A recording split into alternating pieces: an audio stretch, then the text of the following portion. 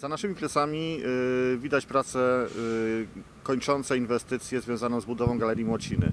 Z tej perspektywy tego nie widać, ale ten budynek za moimi plecami ma ponad 400 metrów długości.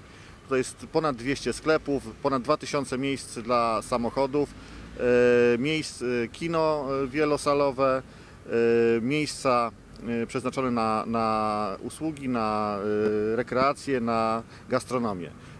Z jednej strony bardzo się cieszymy, że coś takiego powstaje w naszym pobliżu.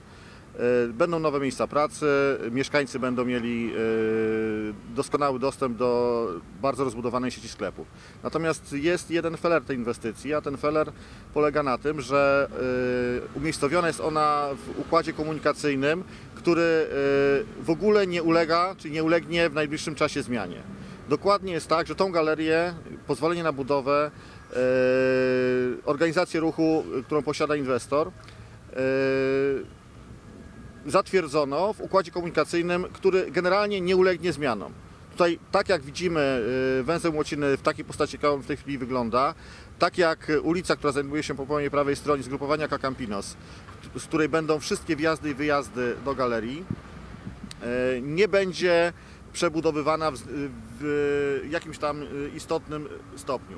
W związku z tym, czego się obawiamy? Obawiamy się, że po otwarciu tej galerii, w momencie, kiedy prawie pewnym jest zakorkowanie węzła Młociny, większość klientów, którzy będą chcieli się wydostać z galerii, będzie wybierało drogę w drugą stronę, a druga strona to jest kierunek ruchu, który prowadzi kierowców albo na wąskie e, uliczki osiedla Młociny, albo na równie wąskie uliczki e, Wrzeciona.